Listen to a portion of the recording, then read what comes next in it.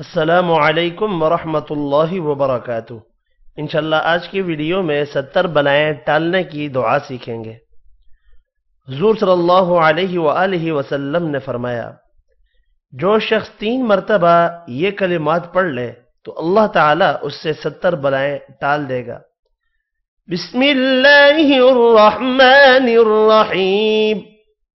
الحمد للہ رب العالمین۔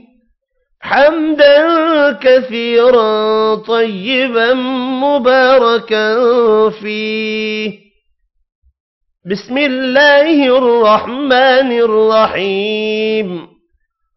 الحمد لله رب العالمين. حمدا كثيرا طيبا مباركا فيه. شروع اللہ کے نام سے جو بڑا مہربان، نہایت رحم کرنے والا ہے۔ سب تعریف اللہ ہی کے لیے ہے۔ زیادہ تعریف، پاکیزہ تعریف، بابرکت تعریف۔ اس ویڈیو میں اتنا ہی۔ اللہ حافظ۔